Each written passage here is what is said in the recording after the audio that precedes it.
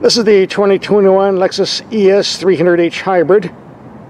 A very, very nice sedan. All yours for 56 grand.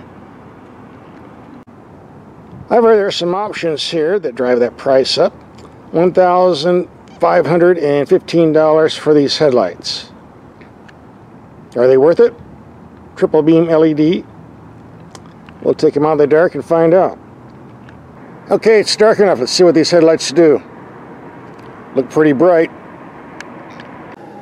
Here we have the low beams on only well 100 feet away, very bright, not much height. High beams, very strong in the middle. And I see we have the heads-up display. I'll have to find a way to disconnect that. Don't need that nonsense.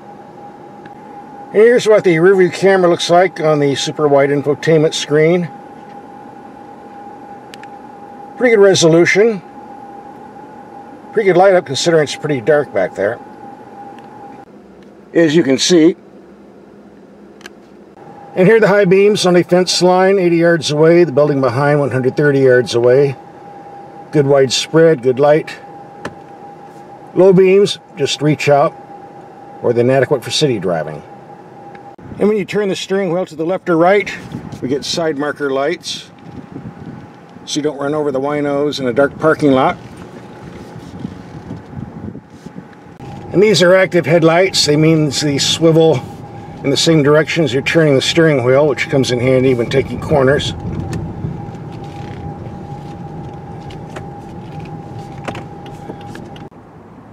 For those interested, we did a complete road test on this for the week of driving. We'll have a link for that video coming up right away.